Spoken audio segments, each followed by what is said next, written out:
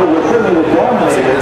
But uh, over the last years, uh, these GMCs and Chevy Duramaxes have really done a really good job.